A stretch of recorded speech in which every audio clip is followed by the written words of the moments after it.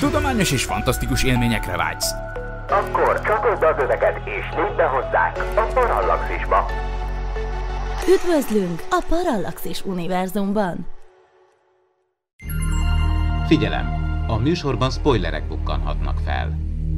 12 éven aluliak számára nem ajánlott. Az MD Média bemutatja.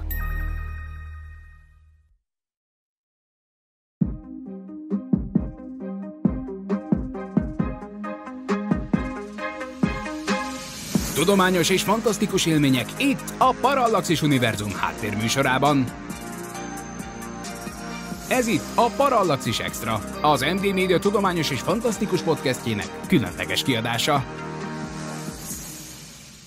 Sziasztok, ez itt a Parallaxis Extra ötödik része a mikrofonnál Horváth Ádám Tamás. Képzeld el, hogy a skifi rajongók mekkáját keresed, és megérkezel egy minden űrutazásról álmodozó földlakónak szánt rendezvényre, hiszen senki sem érezheti magát egyedül ebben a galaxisban.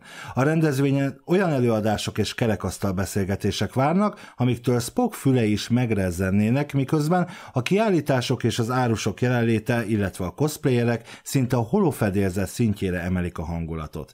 Ez az idei Hungarokon, amire október 19-én szombaton kerül sor a Parallaxis Univerzum közreműködésével az Ötvös 10 művelődési házban néhány percre az Oktogontól.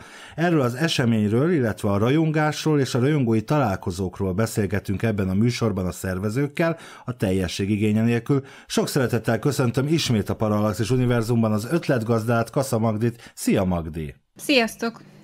És a többszörösen díjnyertes írót, Anthony Sheenerdöt, azaz Szélesi Sándort, aki több világszárt is elhozott már Magyarországra, köztük Patrick Stewartot, azaz Picard kapitányt, és David Prost, azaz Darth Vader. Szia Sándor!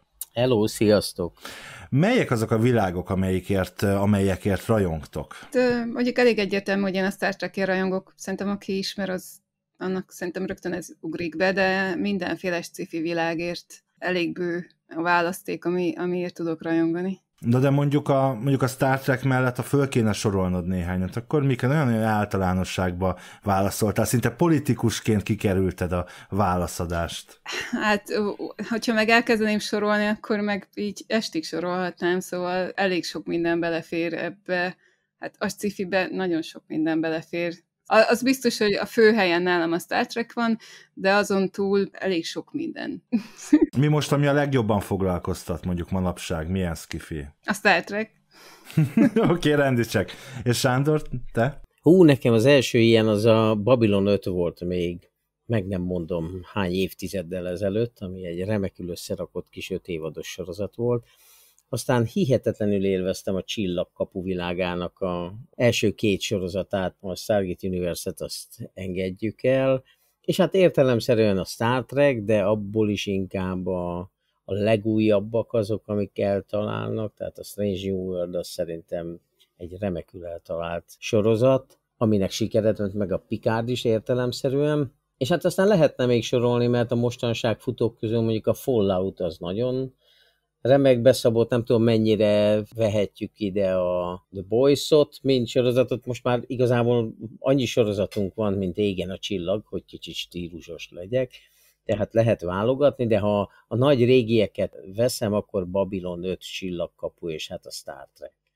Mondtad, hogy a Stargate Universe-t azt nem annyira kedvelted, és hát nyilván aki ismeri ezeket a Stargate sorozatokat, azok tudják a választ, meg én is azért sejtem, de neked mi volt a, mi az a legfőbb indítékod, amiért azt, azt kevésbé? Hát mondanám azt, hogy elvesztette a könnyedségét, a humorát, a báját abban a sorozatban maga a Stargate világa, de ennél jóval nagyobb problémáim is voltak, tehát belső logikai problémák, azok, akik azt kitalálták, a kreátorok a probléma megoldásban mindig a könnyebb utakat választották. Tehát ha már csinálsz, ugye én filmforgatókönyveket is írok, és egy kicsit szakmai jellegűbb problémám is volt vele, hogy ha már csinálsz egy drámai sorozatot, akkor, akkor használt ki annak a, a lehetőségeit. De itt valahol olyan, olyan félutasként megrekedt a, a sorozat a dráma és a jaj, nem merek drámázni között.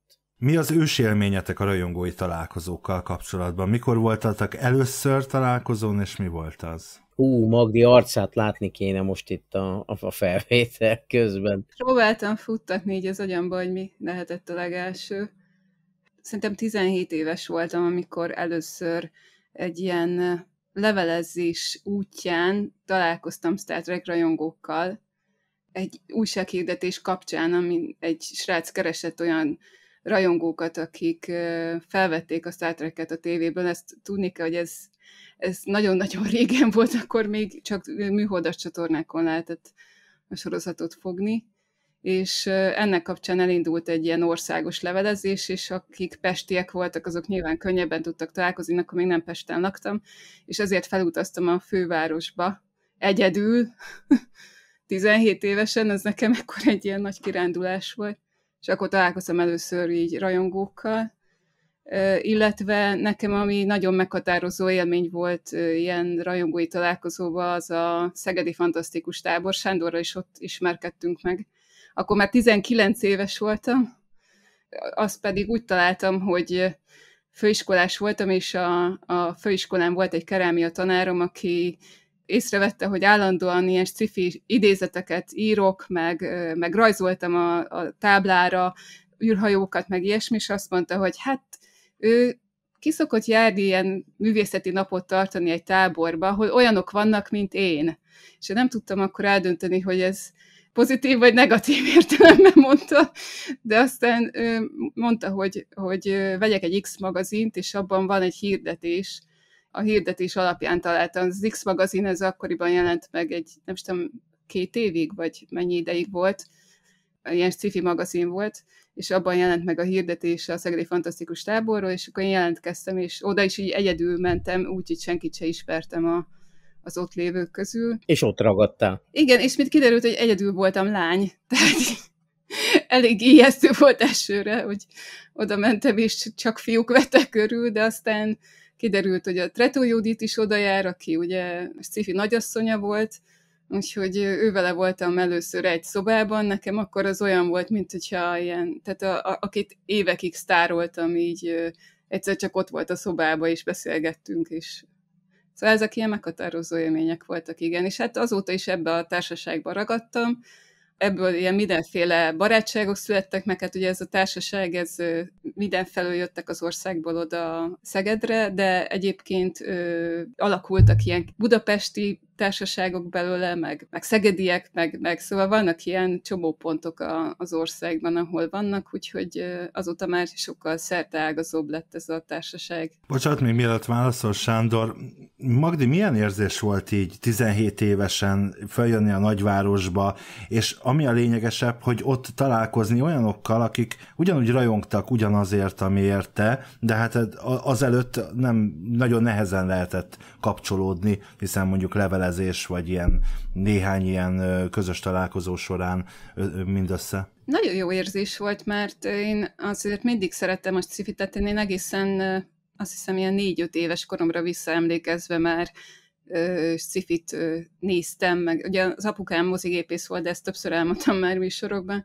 és én a, a mozikba bejártam, és ott is a szifiket lestem, meg uh, Sirius kapitány rádiójátékot ha- hallgattam, amikor még nem tudtam olvasni se, úgyhogy az első könyv, amit kiolvastam, Sirius kapitány volt és valahogy így nekem az úgy jött. Nem tudom, kérdeztem a szüleimtől, hogy miért rajongtam vajon a sci ők is rajongtak ért, és azt mondták, hogy hát ők olyan nyitottak voltak erre, tehát hogy nem voltak kifejezetten rajongók, de ott voltak a sci a könyvespolcon, szóval, hogy így le, le tudtam emelni, és el tudtam olvasni, és valahogy nálam ez így megragadt ez a műfaj, és igen, nehéz volt olyan szempontból, hogy nem nagyon találtam egy jó darabig így a korosztályomban olyanokat, akik így hasonló rajongók lettek volna, és kicsit olyan űrlénynek érzi magát ilyenkor az ember, mert azt érzi, hogy nem nagyon tudja megosztani másokkal ezeket a gondolatait, ami a scifikkel kapcsolatban jön.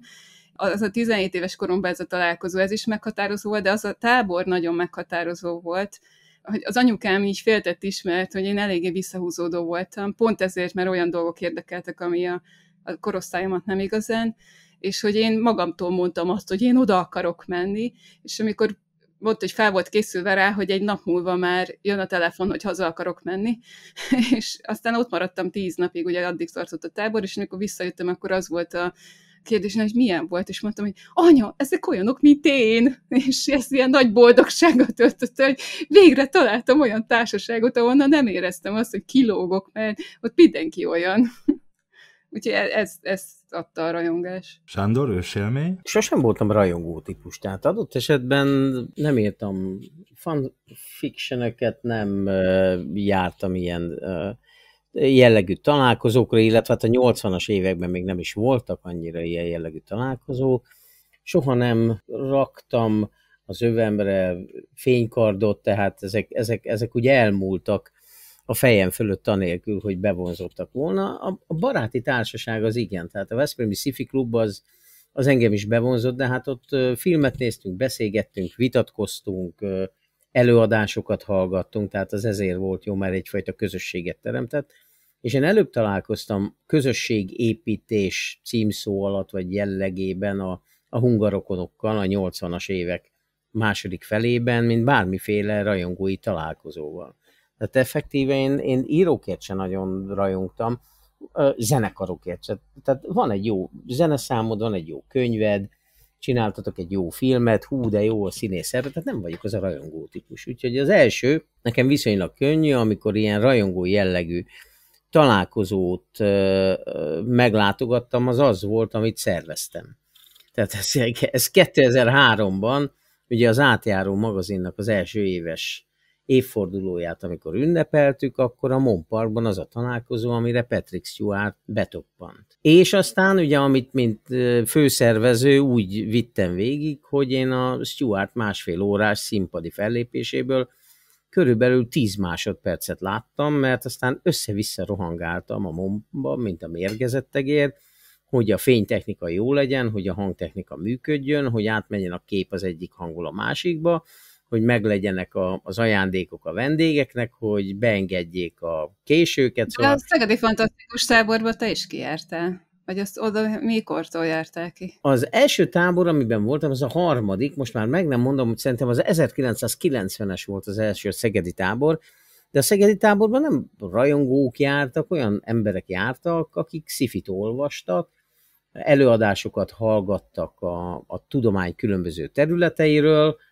és még kicsit katonás volt a tábori rend, ezt ugye el kell mondani, kicsit ilyen, ilyen, ilyen ifjúsági tábori jellege volt a, az egésznek 1990-ben, nagyon jókat lehetett beszélgetni emberekkel lényegében mindenről. Igen, ugyanolyan kockák voltak, mint én, szerették a szifit, meg, meg de, de igazából a társaság számított nagyon sokat. Ugye ezek az emberek, akik ott összegyűltek, azok érdeklődők voltak, nyitottak voltak, jópufák voltak, és az ember egyszerűen, ahogy te mondtad az előbb, Magdi, megtalálta azt a társaságot, ami az övé. Sok témát földobtál, Sándor, még a Patrick Stewartos átjáró napról mindenképpen szeretnék beszélgetni, de még előtte, amikor először szembesültetek vele, hogy nektek is vannak rajongóitok, az, az milyen érzés volt, vagy, vagy hogy, hogy éltétek ezt meg, vagy hogy élitek meg mondjuk akár a mai napig? Hát nekem nagyon zavarba ejtő. Pedig én tudom milyen rajongani, de, de zavarba ejt, amikor kiderül, hogy nekem is van rajongóm. Után hangzik, hogy kezdem megszokni, de szóval most már úgy annyira nem lepődöm meg rajta, hogyha valaki így jön oda, de még mindig egy kicsit így zavarban vagyok tőle, hogy én értem, engem követ valaki is. De amúgy jó érzés szerintem, tehát hogy alapvetően nem találkoztam olyan rajongóval, aki így idegesített volna, vagy hogy mondjam ezt, ugye vannak olyan filmek is, amik a rajongókról szólnak, meg a rajongásról, azért ott vannak, akik tudnak túlzásba esni rajongással kapcsolatban.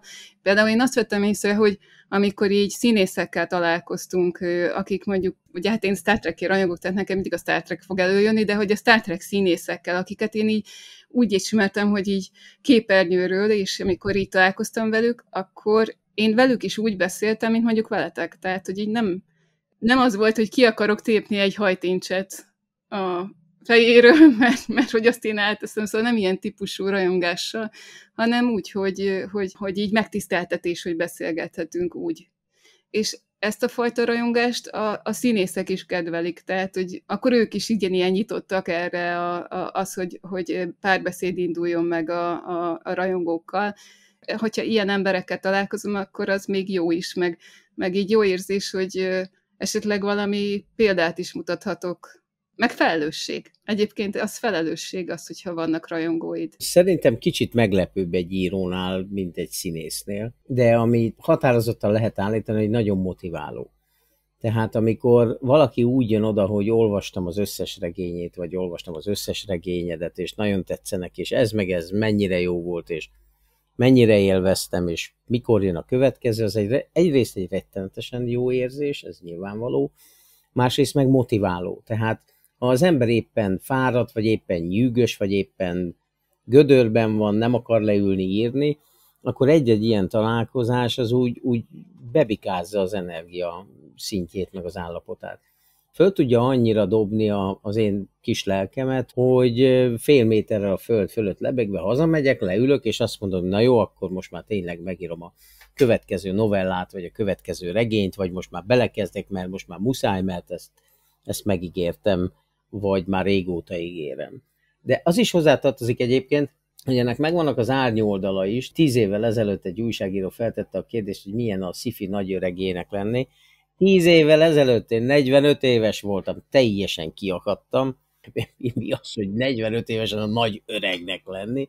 Tehát ez az egyik. A másik meg azért én szembesültem azzal is a, a pályafutásom során nem egyszer, hogy nem csak pozitív élményeket ébreszt az ember az olvasókban, vagy hát a kortársakban, vagy hát nem tudom, akikkel egy időben, egy térben élünk és létezünk, hanem negatívat is, tehát azért valami eszement sok negatív kritikát és a mocskolódásnak mondanánk.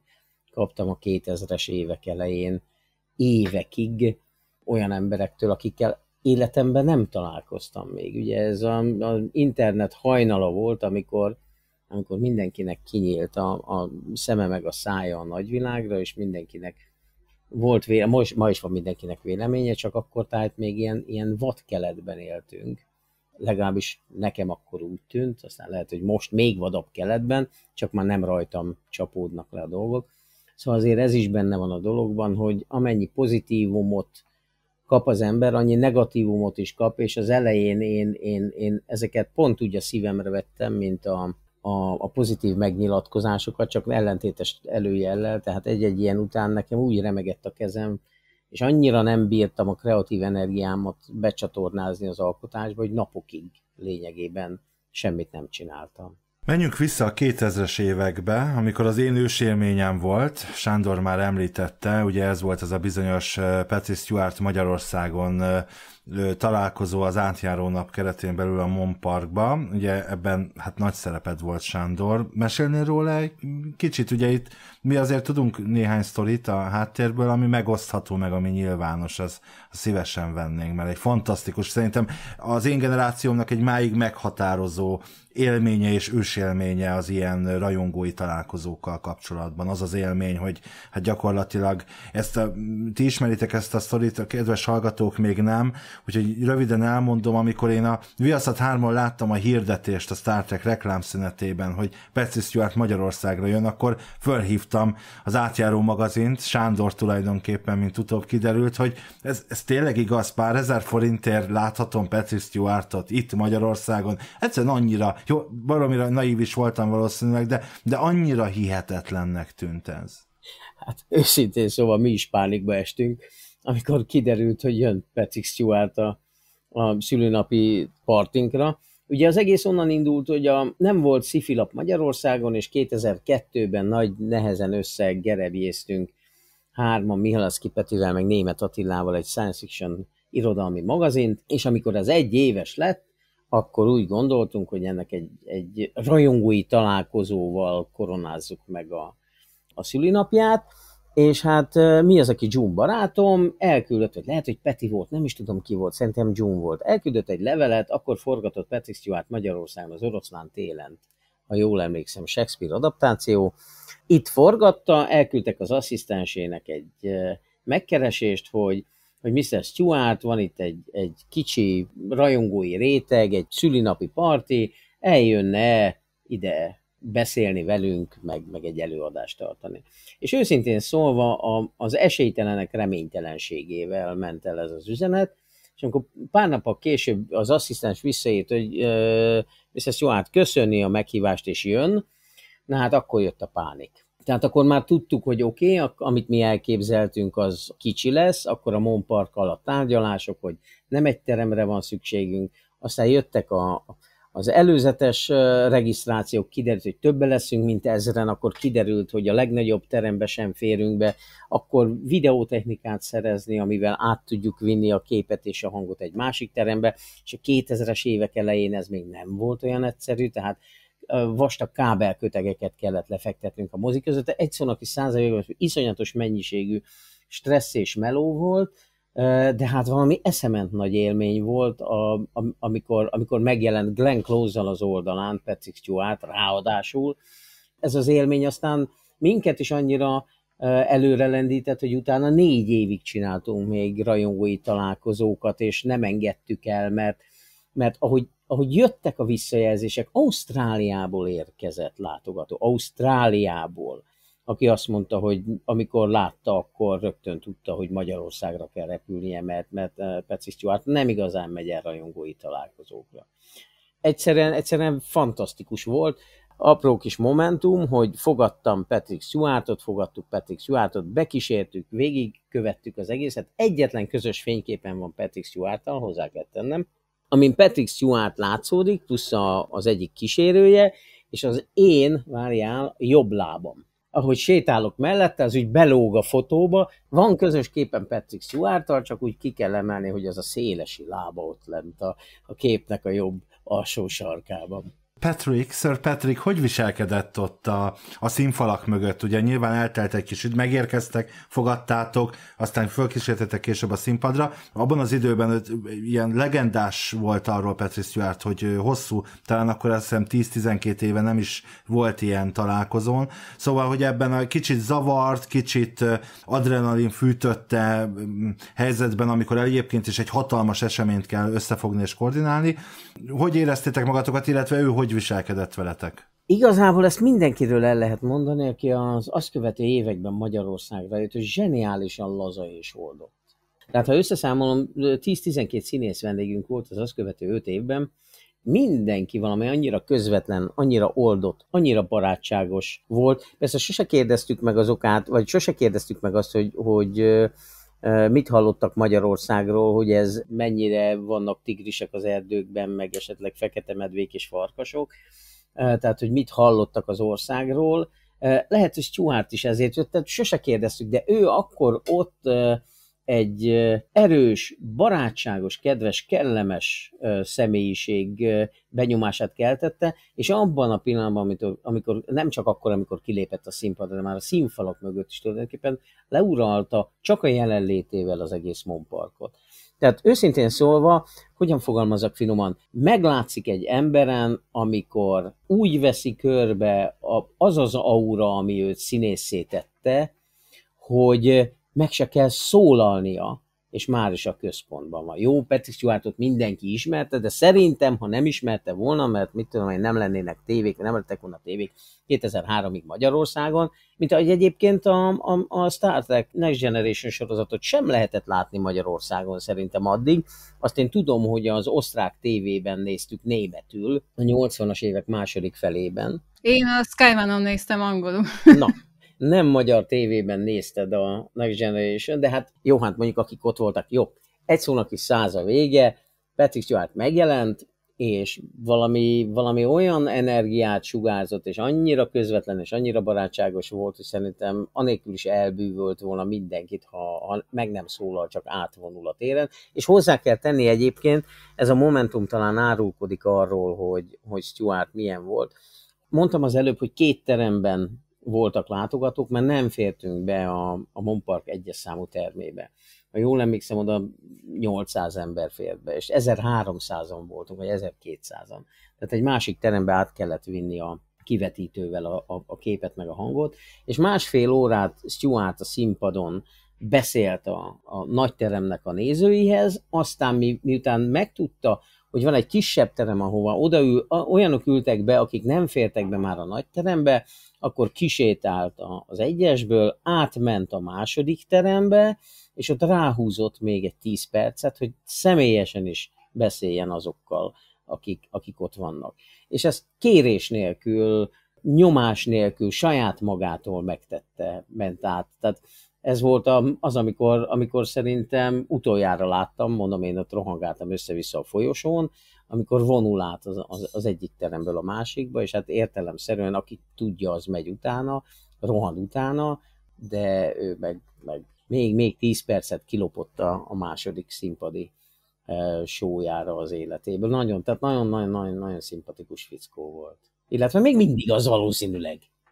Fantasztikus. Egy kis korrekció, csak a TV3 az, az azt hiszem az első két vagy az első évadát addigra már egyébként a TNG-nek leadta magyarul, ugye a Horányi László féle szinkronnal, de hát azért nem nagyon lát, meg hát nyilván filmeket ismertük, de hát azért nem, nem nagyon láttuk úgy a, a TNG-t, ahogy egyébként most bárhol elérhető, vagy azóta bárhol elérhető.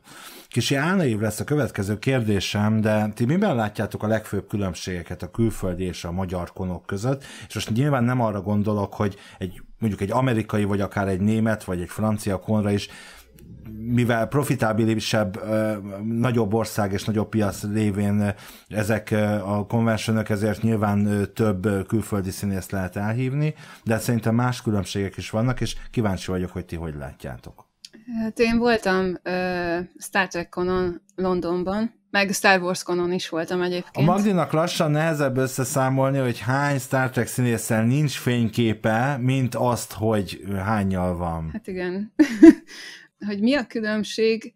Szerintem abban is, nem csak abban van különbség, hogy ott lehetőség van több színészt meghívni, hanem kicsit más a közeg, vagy is mondjam, populárisabb mondjuk a, a, a Star Trek, mert a, ugye a Star Wars az nálunk is populáris, tehát az, itthon is azért a Star Wars az sokkal jobban ismerik az emberek. Tehát nagyon kevés olyan ember van, aki mondjuk azt mondaná, hogy nem látott egy Star Wars-t sem, szerintem. Meg sokkal jobban elismerik. E, igen, igen, de vagy a Star Trek azért sem lett talán annyira ismert Magyarországon, mert későn jött be, vagy nem tudom. Én valahogy ezt gondolom, de aztán cáfoljatok meg, ha nem ezért, mert most például ugye elérhető most már streamingeken, nem tudom, hogy lesz-e valaha olyan nagy rajongás iránta, mint külföldön.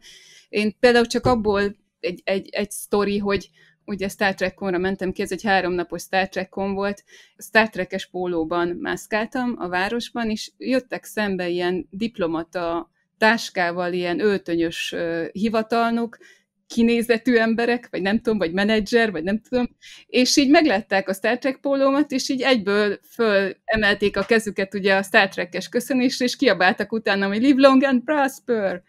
Ők nem a Star trek jöttek, hanem csak meglátták, hogy olyan pólóban vagyok, és, és egyszerűen utánam kiabáltak. Tehát, hogy ezt szerintem Magyarországon soha az életben nem fogom megírni, akármennyi lesz népszerű ez a sorozat Magyarországon. Szóval, hogy egy kicsit valahogy más ez, ez a, a, a, ott a befogadó közeg, vagy nem tudom, hogy, hogy Magyarországon, de Magyarországon is vannak ilyen rajongók, tehát hogy, hogy a rajongók között meg akkor a különbséget nem látok, tehát mag, hogyha valaki rajongó, akkor külföldön is olyan rajongó, mint Magyarországon, szerintem. Aki még nem volt ilyen külföldi találkozón, el nem tudja képzelni, hogy milyen. Tehát, hogy az olyan hat, nagy szabású, hogy hogy valami iszonyú, tehát, hogy így hatalmas. Tehát én komolyan, amikor először bementem, akkor olyan volt, hogy egy ilyen folyóson kellett bemenni, ahol a Star Trek sorozatoknak a zenéi szóltak, és a különböző csillaghajók voltak így kirakva a folyóson, és mikor beléptem a csarnokba, akkor egy ilyen nem tudom, több ezer fő, mindenki Star Trek ruhába volt öltözve, az összes árus, az mind Star Trek-es merchandise-t árult, vagy könyveket, vagy, vagy mindenféléket, posztereket, nem tudom, és én így megláttam, hogy Úristen, és így azt éreztem, hogy le kéne térdelnem, és meg kéne csukolni a padlót, komolyan így remegett a lábamon, ezt nem hiszem el, hogy ilyen van.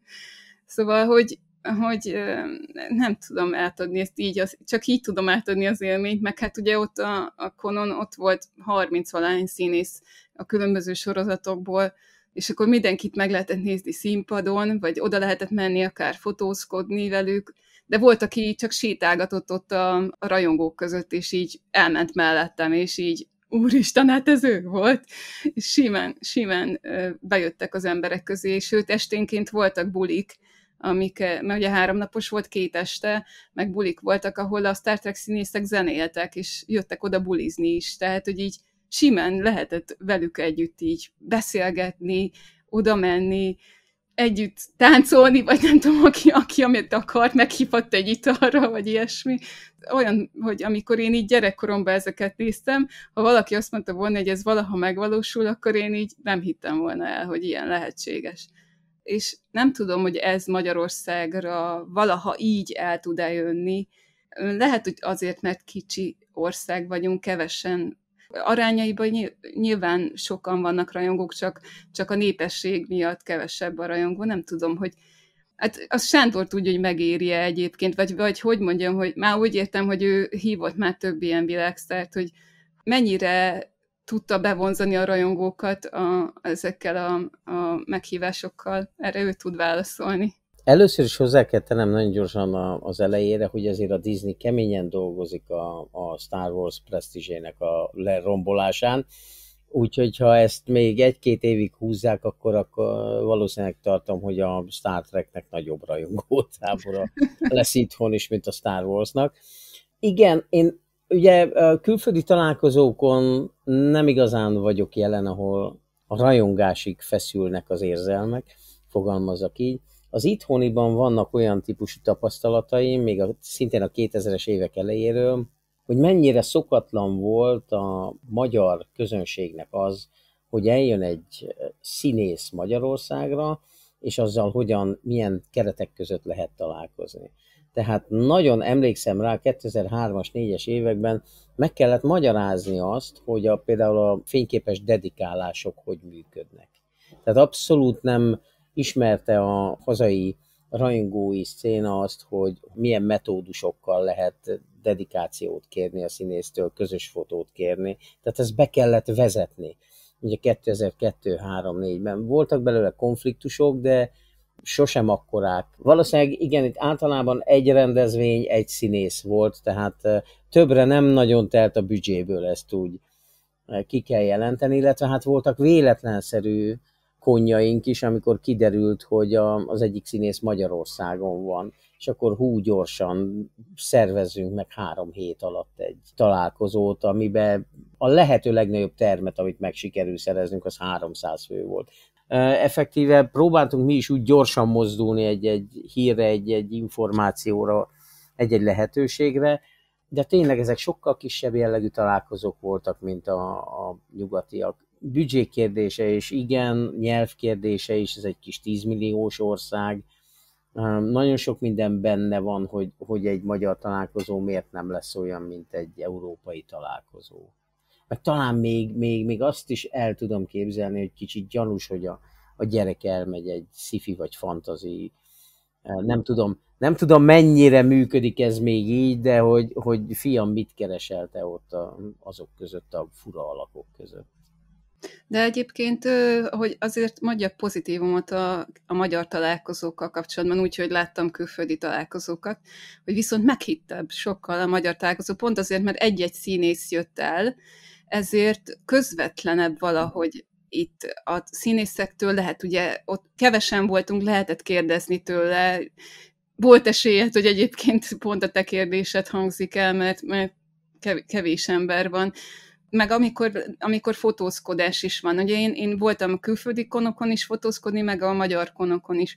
És a külföldi konon az kb. annyi a fotózkodás, hogy, hogy időpontot kapsz, hogy pontosan mikor kell odaérned, amikor a színésznek ez a fotó sávja van, és neked pontosan az időpontra oda kell érned, különben nem tudsz fotózkodni, mert be van osztva, és körülbelül annyi a fotózkodás, hogy így, mintha a futószalagon mennél, hogy állj oda, lefotóznak, menjél. És akkor jön a következő, állj oda, lefotóznak, menjél. És nem igazán van idő arra, hogy mondjuk pár szót váltsál vele, vagy ilyesmi. Ez itt Magyarországon meg, mivel egy-egy színész volt, ezért valahogy több volt erre nagyobb lehetőség volt, hogy ott, mit tudom én, dedikáltatsz, és akkor közben egy pár mondatot tudsz vele beszélgetni, vagy ilyesmi. Lehetett még társalogni velük közben, igen. igen. Hát ez nagy előnye a, a kisebb találkozóknak, hogy egyfajta személyesebb kapcsolat, meg hát néha próbáltunk mi is úgy működni, hogy, hogy mondjuk vacsorát szerveztünk a színészeknek, és az, az nyílt volt, hogyha ha valaki el tudott jönni, akkor jöjjön, és akkor lehet vacsorázni kötetlen körülmények között. Ú, bocsánat, csak annyit akartam mondani a vacsorával kapcsolatban, hogy volt olyan amerikai rajongó, sőt nem is egy, aki azért nagyon irigy volt rám, amikor mutattam fotót ilyen vacsoráról. Mert ott nincs rá lehetőség én magam részéről azt a hangulatot keresem mindig, amit mondjuk, ha jól emlékszem, 2003-ban Salgó Tarjáni hungarokonon éltem át, hogy ugye több napos skifi és fantasy fesztivál keretein belül nappal Darth Vaderrel beszorulni a karanszáló liftjébe, délután ilyen Watsonnal diskurálni a nem tudom, mesterséges intelligenciáról, aztán hajnalig inni Roberto Quájával. Szóval szerintetek mi az oka annak, hogy ma már nincsenek ilyen jellegű események, és most első elsősorban a közösségi élményről beszélek, mert hogy valójában én azt látom, hogy nincsenek a skifinek és a fantasynek egyfajta mondokonja itt Magyarországon. Szerintem a közösségek bomlottak fel annyira jelenkorunkra, hogy, hogy nagyon nehéz megszervezni egy ilyen jellegű találkozót. Egyrészt persze nyilván van az egésznek egy anyagi háttere is, tehát eh, könnyebbnek tűnt megszervezni Salgótarjánban egy ekkora találkozót, mint Budapesten, ahol a költségek ötszöröse vagy tízszerese lett volna. Másrészt viszont egy kisvárosban sokkal bensőségesebb a hangulat, pláne ha ott is alszik az ember. Próbálkoztunk mi Gödöllővel, ami egyszerre van közel a fővároshoz, tehát könnyen elérhető, ha valaki egy napra jönne le, de ha valaki lent akar maradni, akkor mégiscsak egy kisváros, ami egy zártabb jellegű találkozót jelent. Nehéz megszervezni egy ilyet. Kettő, valahogy tényleg elveszett az a közösségi lét, ami mondjuk a, a 80-as, 90-es években eh, jellemezte a szifiket és a fantaziket kedvelőket. Eh, sőt, tehát igazából a Covid óta látom, ugye eh, mi a Covid előtt hosszú éveken keresztül az Írószövetség SF szakosztályában havonta egyszer szerveztünk egy estet. Nem tudtuk a Covid után ezt újraindítani, mert egész egyszerűen az emberek mintha elszoktak volna a közösségbeli járástól, a közösségi léttől. Tehát egy egyszerű szifi estet nem tudunk összeszervezni pont emiatt, ami, ami lehangoló. Én abszolút egyetértek veled, én, én ugyanezt vettem észre, hogy a, a Covid az nagyon a, a szociális életet eléggé tönkretette. Tehát, hogy így valahogy tényleg az emberek egy, egy, így, így elszoktak egymástól. Lehet, hogy a Covid egyébként csak egy, egy, egy pont, vagy egy, egy cseresznyeszem volt a torta tetején, és akkor ebben bele, ebbe beletartozik a, az okostelefonok, meg a csetek és az egyéb kapcsolattartási rendszerekhez való hozzászokás, mert azért mégiscsak egyszerűbb valakire rácsetelni, mint találkozót adni ugye a hajdani szegedi tábor kapcsán is még levélben kellett jelentkezni, ami egy teljesen más jellegű kapcsolatot jelent, hogy megírod a, a kiskét kezeddel, elmész a postára, a bélyeget raksz rá, feladod, és aztán várod, hogy három hét múlva visszajöjjön a válasz mint most, amikor lényegében leülsz a csetelé, és már is megkapod azt, amit szeretném. Tehát valahogy, valahogy ember és ember közötti kapcsolat ilyen jellegében annyit változott, hogy, hogy eltűntek ezek a típusú közösségek a tábori levelezésre, hogy az első levelemet elvesztették, amikor jelentkeztem a táborba, úgyhogy én két levelet írtam, mire egy, egyszer oda tudtam menni, ennyire voltam kitartó, hogy második levelet is írtam, hogy én oda akarok menni. Ez dicséretes. Ugye?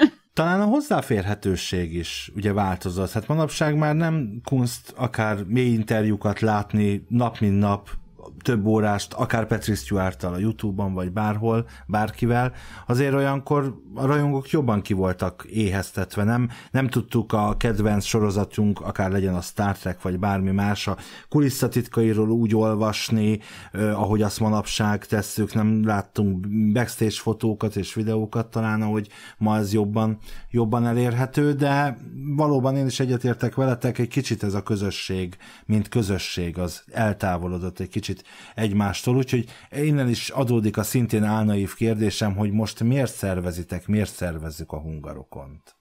Kezdjem én.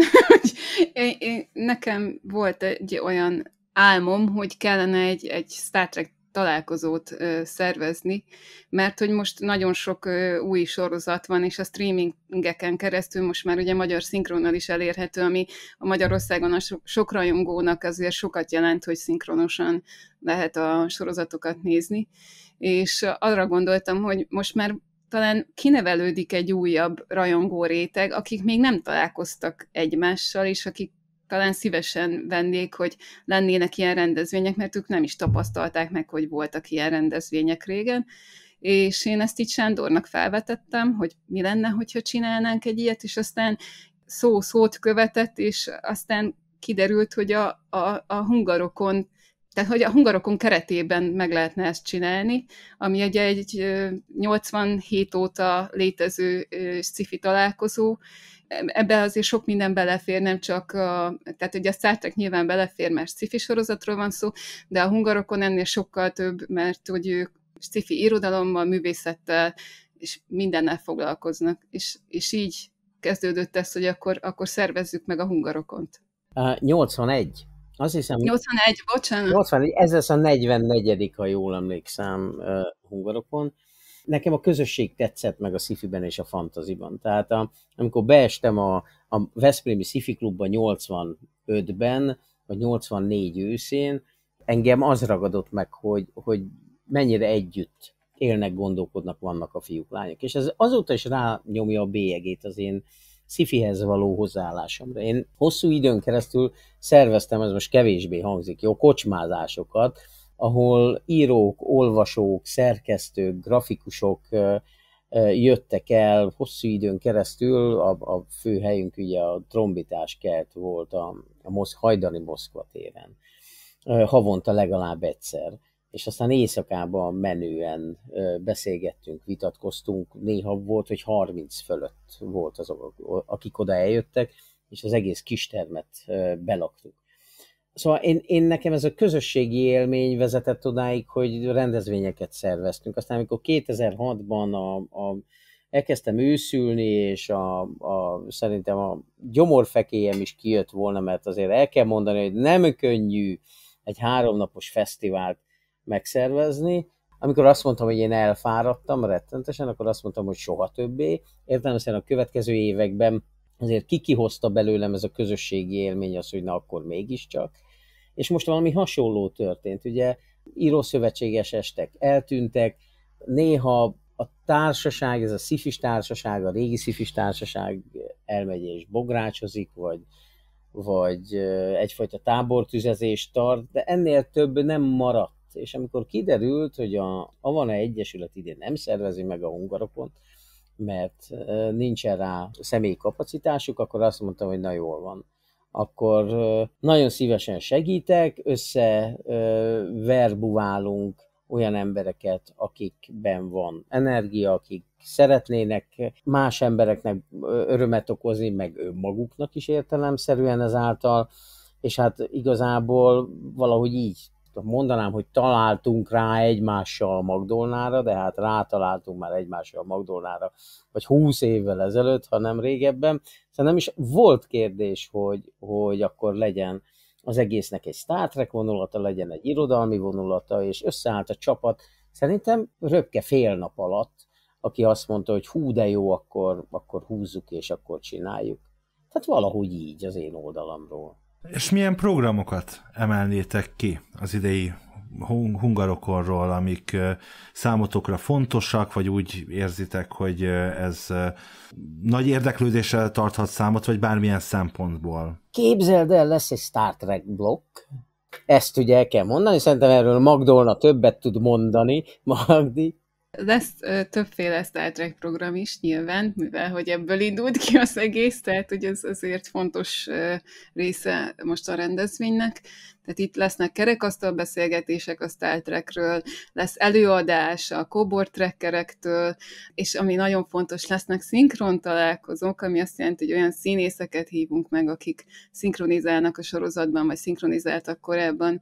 Úgyhogy nagyon izgalmasnak ígérkezik, illetve a Star Trek mellett még, még egy fontos sorozat, ami most újdonság és nagy erővel csapott bele itt a, a sci életbe, ez a Fallout sorozat, ami meg egy, ugye egy játékból indult ki, és most már sorozatként is elérhető, tehát így élőszereplős sorozatot készítettek belőle, nagyon izgalmas, és ezzel kapcsolatban is jönnek rajongók, úgyhogy akik Fallout rajongók, azokat is nagyon szívesen várjuk.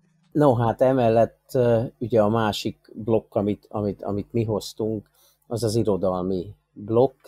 Szeretnénk megidézni a régebbi nagy írókat, tehát azt szerintem abszolút nem titok, hogy Nemere István idén 80 éves.